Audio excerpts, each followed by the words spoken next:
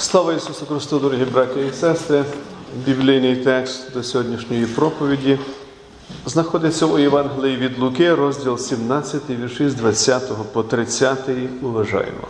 Написано. А як фарисеї спитали його, коли царство Боже прийде, то він їм відповів і сказав: Царство Боже не прийде помітно. І не скажуть ось тут або там, бо царство Боже всередині вас. І сказав він до учнів: прийдуть дні, коли бажатимете бачити один із днів Сина Людського, але не побачите. І скажуть до вас: ось тут чи он там, не йдіть і за ним не біжіть. Бо як блискавка, блиснувши, світить із одного краю під небом до іншого краю під небом, так буде свого дня і син людський.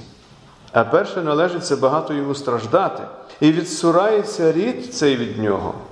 І як було за днів Ноєвих, то буде так само і за днів сина людського. Їли, пили, женилися, заміж виходили, аж до того дня, коли Ной увійшов до ковчегу. Прийшов вже потоп і всіх вигубив. Так само, як було за днів Лотових. Їли, пили, купували, продавали, садили, будували. Того ж дня, як Лот вийшов із Содому, вогонь із сіркою з неба линув і всіх погубив. Так буде і того дня, як син людський з'явиться. Це Слово Боже. Мир вам у Христі Господі нашим. Дорогі брати і сестри, як я вже казав перед тим в коментарі до одного із біблійних читань сьогодні, ми, як діти Божі, очікуємо радісно приходу Господа нашого Ісуса Христа.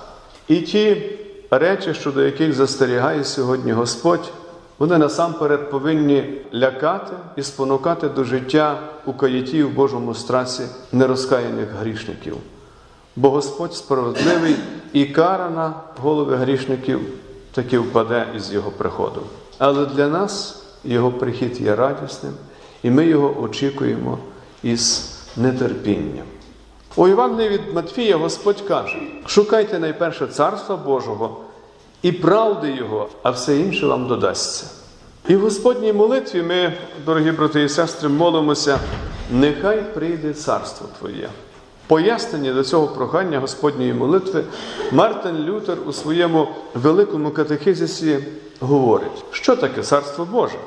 Це, власне, саме те, про що ми довідалися із символу віри, що Бог послав свого Сина Ісуса Христа, нашого Господа у світ, щоб викупити нас від влади диявола і привести нас до себе, і щоб Він міг панувати над нами як цар праведності, життя і визволення від гріха, смерті і зіпсованої совісті, для чого Він також дарував нам свого Святого Духа, який повинен принести все це нам через Його святе Слово, а також своєю силою просвітити нас і зміцнити у вірі.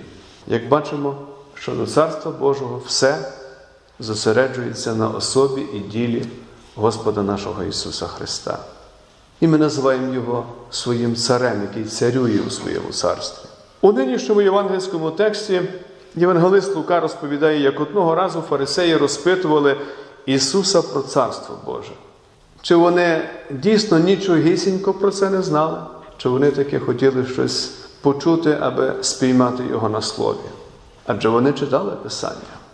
Природно виникає питання, про що ми просимо Господа, коли молимося в Господній молитві, нехай прийде Царство Боже? Чи ми також належно розуміємо це? І добре знаємо, про що ми просимо.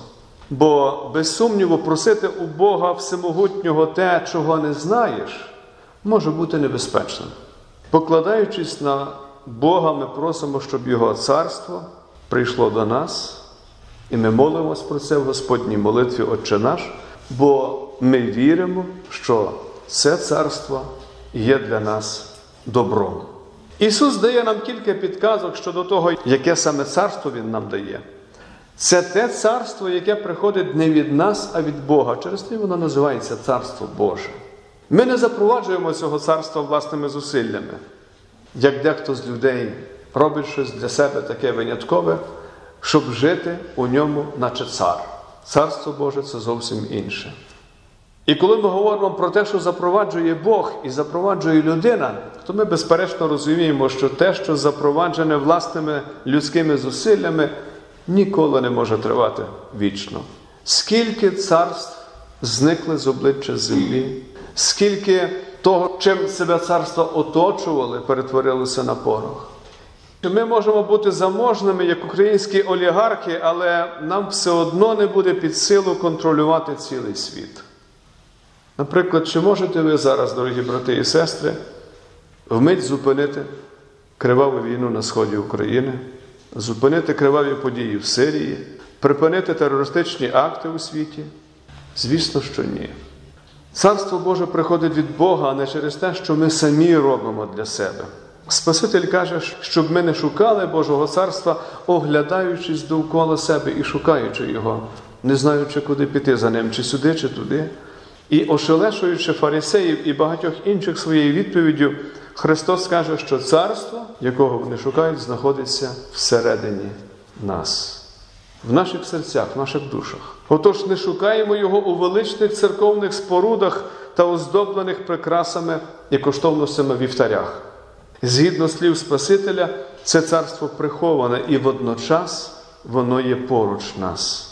Все, що нам потрібно для того, щоб Царство Боже дійсно нам належало, це спасенна віра в Ісуса Христа. Якщо в нас ця віра є, то в нас є і Царство Боже. Пам'ятайте, що царство, яке Небесний Отець забажав запровадити на землі, уособлюється лише Сином Божим, з тим маленьким дитятком, що лежить у Вифлеємських яслах.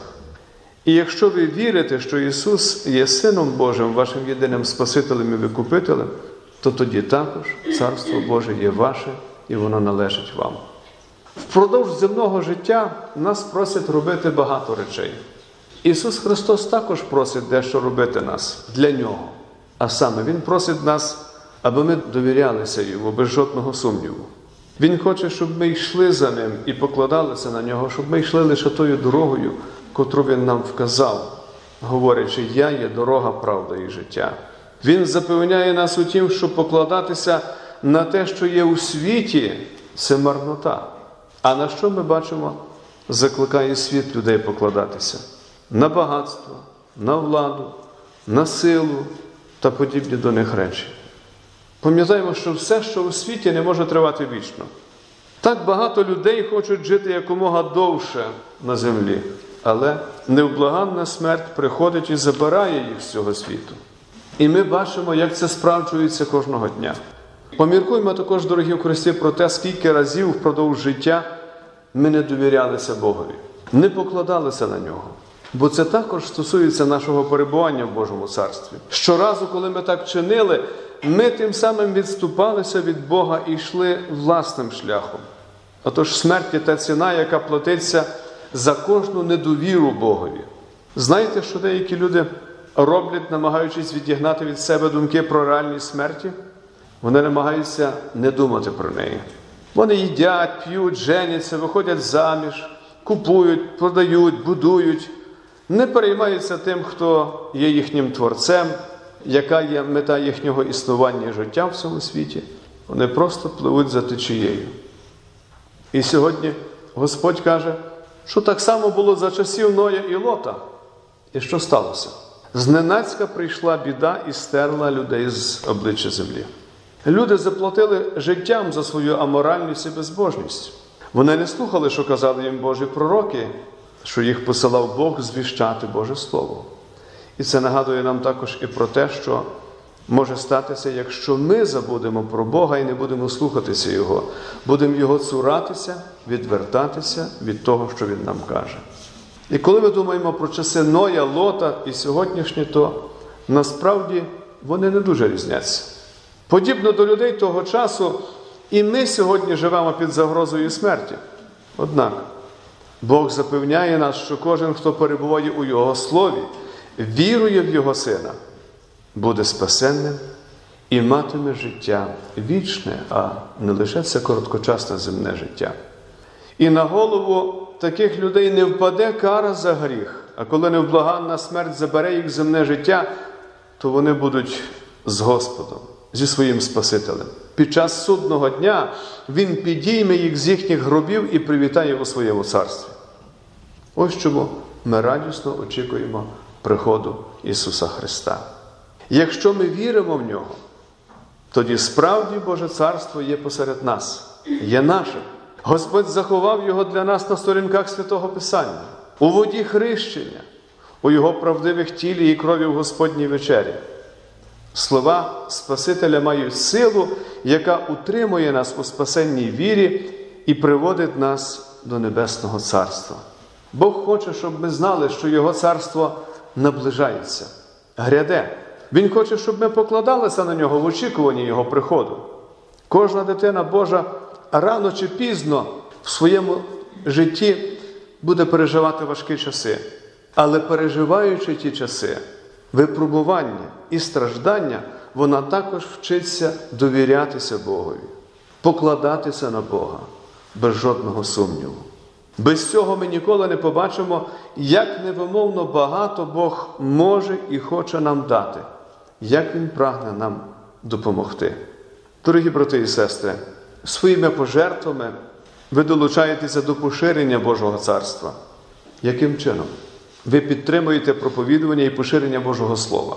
І тут також йдеться про ваше покладання на Бога і Його піклування про вас. З вдячності Богові ви даєте йому свої пожертви, знаючи, що Він, як і завжди, буде опікуватися вами. Пожертва повинна бути щирою. Нехай ніхто з вас ніколи не думає таким чином. Хто багатший, той нехай і жертвує. А я не маю що дати. Я бідний, то не моя справа. Але ж Господь дає хліб насущний кожному, дорогі у Христі. Тож нехай кожен дає, як йому серце його велить. Господь вчить нас давати і каже, що давати блаженніше, ніж брати. А є такі люди, які лише кажуть: дай мені, дай мені, бо я потребую, дай мені, бо мені дуже треба. Дорогі у Христі, щоб давати, потрібна довіра Богові і покладання на Бога. Без довіри немає надії. Без віри догодити Богові неможливо. І коли ми бачимо, що Бог дав для нас, як Він дав для нас свого однородженого Сина, то ми вчимося давати щось також. Ми вчимося покладатися на Христа, якого дав нам Господь, як жертву за наші гріхи. Пророк Малахія каже: принесіть же ви всю десятину додому скарбниці, щоб страва була в моєму храмі, і тим мене випробуйте. Чи небесних отворів вам не відчиню і не виллю на вас благословіння понад міру. Чуєте, що каже Бог? Принесіть мені те, що можете, а те, що я дам, то буде у десятки тисяч разів більше. Бог не обмежує наші пожертви десятиною. Він вчить нас дивитися на щедрість Його благодаті і любові до нас. Він дає нам 100% своєї любові і доброти до нас, своєї щедрості. Він не каже, дам вам 10%, а решту 90% зробіть самі. Якби це було так, ми б не мали спасіння, прощення гріхів вічного життя. Але Бог зробив для нашого спасіння 100%. Син Божий дійсно помер за нас і викупив нас від влади гріха, диявола і смерті. Ось що ми можемо щодо нашого спасіння без жодного сумніву покластися на нашого Бога. Дорогі брати і сестри, пам'ятайте, що Царство Боже є посеред нас. Воно всередині кожного з вас. Його настановив Господь Дух Святий, коли привів нас до рятівної віри у те, що однороджений Син Божий є нашим єдиним Спасителем і Викупителем.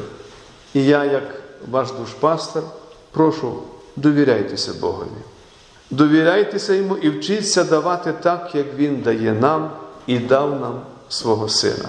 Покладіть свої тягарі на Ісуса Христа, на праведного, святого і безгрішного Викупителя нашого.